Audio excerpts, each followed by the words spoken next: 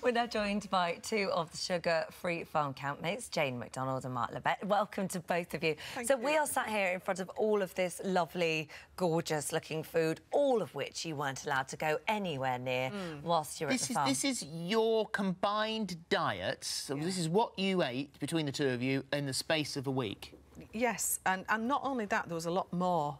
There was a lot more food than this. It Why- took you by surprise, didn't it, how much you were actually eating? You thought you were doing all right. I thought I'd go on the show and they'd say, You're absolutely perfect, we don't need to do anything for you. Because I was only a size 12, 14. Yeah.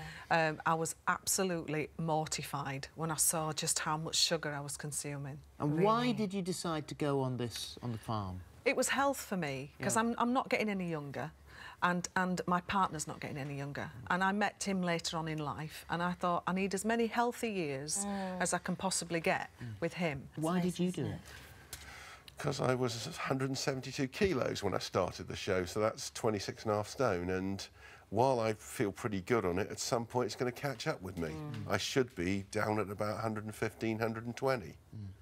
And sugar is my sin. I, I think it showed I was the only one who wasn't surprised by how much sugar I ate because over the years, it's how I got through things. Famously, when I was filming in America, I had a giant coffee cup full of M&Ms. I was walking around chugging it like that to keep Oh me my going through the day. wow.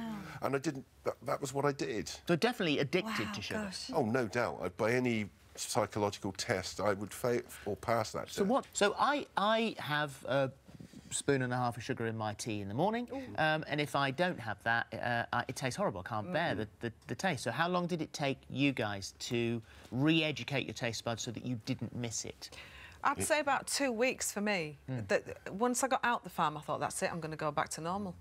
But actually, my taste buds have been re-educated, And and, now I can't. I can't touch the red wine now. Really? Yeah, what no. about you? Have you... Unfortunately, it didn't work. um, when they gave me a ginger biscuit at the end of the show to see, right, you should find the difference, I just went, that's the greatest ginger biscuit I've ever tasted. It's, um, I, I still love all this stuff. The difference is now it's willpower. What I can say now is when they did that uh, thing putting all the sugar bags out, they actually left it in a barn across from my house, unlocked and unguarded all night. I was tempted on one or two points to go, Really? nip Do you have across there and blame it on the rats. Uh, but it was willpower.